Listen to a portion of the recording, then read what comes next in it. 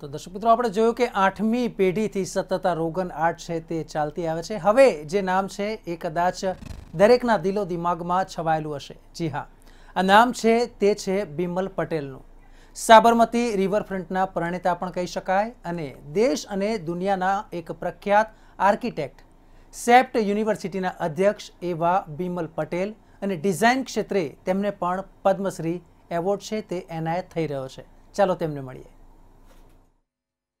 ગુજરાતમાંથી આઠ નામો પદ્મશ્રી એવોર્ડ માટે જાહેર કરવામાં આવ્યા છે.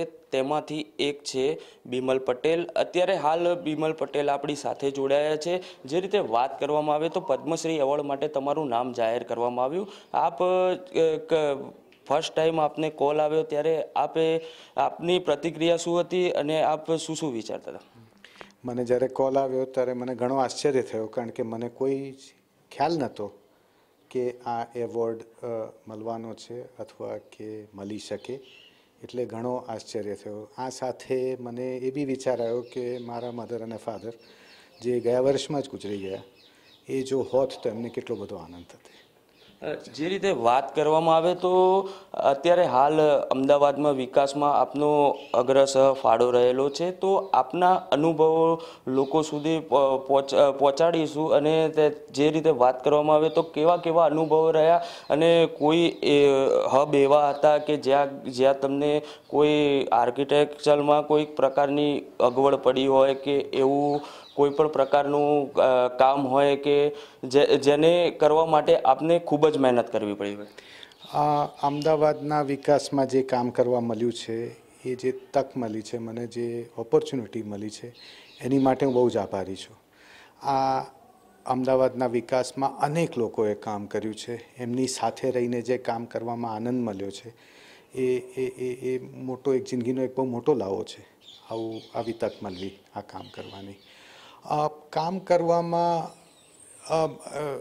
પ્રોજેક્ટો સમજ, હું સમજ્યો એ વસ્તુ છે કે જે પ્રોજેક્ટોની અંદર બધા સાથે રહીને લોકો કામ કરે, બધા બધી જ જાતના લોકો ભેગા થઈ અને એક કોમન એજન્ડા ઊભો કરે. એ પ્રોજેક્ટો આગળ વધતા હોય છે. રિવરફ્રન્ટ પ્રોજેક્ટ જેની અંદર મેં ઘણું બધું કામ કરવાનો મને ચાન્સ મળ્યો છે. એની અંદર બી અનેક જાતના લોકોએ ભેગા થઈ અને એક શહેરને સુધારવાનો એક મોકો જોયો છે અને એ કામ કરવા મળ્યું છે એ એ બહુ જ સરસ વસ્તુ મળી છે. એટલે આ છે વાત. જે રીતે વાત કરવામાં આવે તો અમદાવાદમાં આપે જે વિકાસ કર્યા પર આગામી દિવસોમાં અમદાવાદને આપ વિકાસની દ્રષ્ટિએ ક્યાં જોવા માંગો છો? આપણે જોઈએ તો અમદાવાદ શહેર તો હજુ એક્સપાન્ડ થઈ રહ્યું છે. આવતા વર્ષોની અંદર ધીરે ધીરે વસ વસ- વસ્તી તો વધ્યા જ કરવાની છે, જેમ બીજા શહેરોની બી વધવાની છે.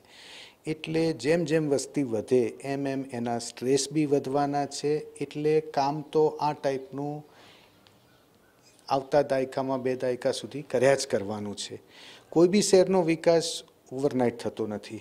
એક બે પેઢી સાથે જાતે આખી મહેનત કરે, ધીમે રહીને ઇન્ફ્રાસ્ટ્રક્ચર ઊભું કરે અને સામાન્ય લોકો માટે જિંદગી કમ્ફર્ટેબલ બને.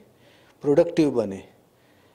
એવી એવું શેર ઊભું કરે, તારે જ એ કામ પતતું હોય છે. એટલે કામ તો ઘણું જ કરવાનું છે.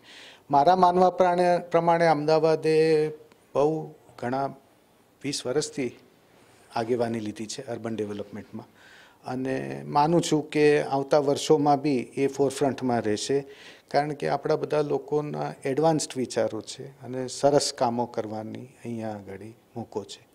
જે રીતે વાત કરવામાં આવે તો આપે ત્રીસ વર્ષ જે સેવા આપ્યા બાદ આપને પદ્મશ્રીથી નવાજવામાં આવ્યા. તો આપના મતે એવું લાગી રહ્યું છે કે આપ મોડું થઈ ગયું હોય કે આ જે પ્રમાણે છે તે અત્યારે હાલ જે નવાજવામાં આવ્યા તે યોગ્ય છે? શું કહેવા માગશો આપ? તમે કેવી વાત કરો છો? આવો વિચાર કરી બી શકાય. કોઈ માણસ જે એવોર્ડ માટે કામ હું તો કરતો જ નથી.